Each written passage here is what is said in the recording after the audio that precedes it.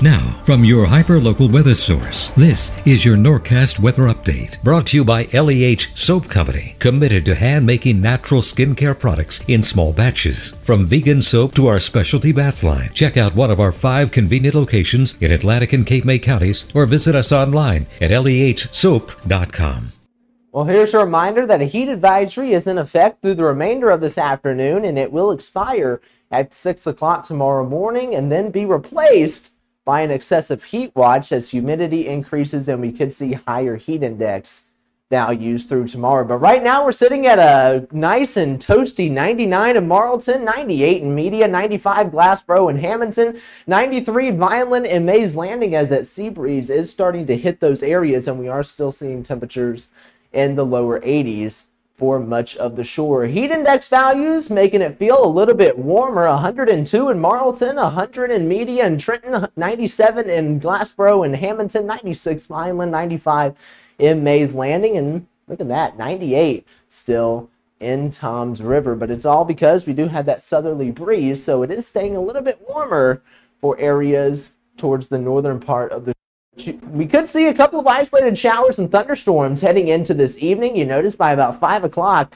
some showers and isolated storms do start to pop up, especially across the northern parts of the state. And then a little bit more activity could be seen as we head later into this evening, but I believe that will all wrap up as we head towards about 10, 11 o'clock tonight. And then you notice overnight we do get some patchy fog. That is what is showing up here. I think we stay mostly dry. I don't think we are going to see any showers like what this model is suggesting, but I did like the fact that it shows the fog heading into the overnight hours tonight and into early tomorrow morning. Then that will start to clear out. I believe we will start off with clear skies through tomorrow morning. Then some more clouds will build into the afternoon as a front does start to move into the area. So with these clouds. That's why I did drop the temperatures by a couple of degrees because the sun isn't going to be beating down as long. But don't get me wrong, it is still going to get hot. Temperatures still expected to be in the upper 90s, but it will be a bit cooler. But this front is going to increase our humidity levels. So that is why we have that excessive heat watch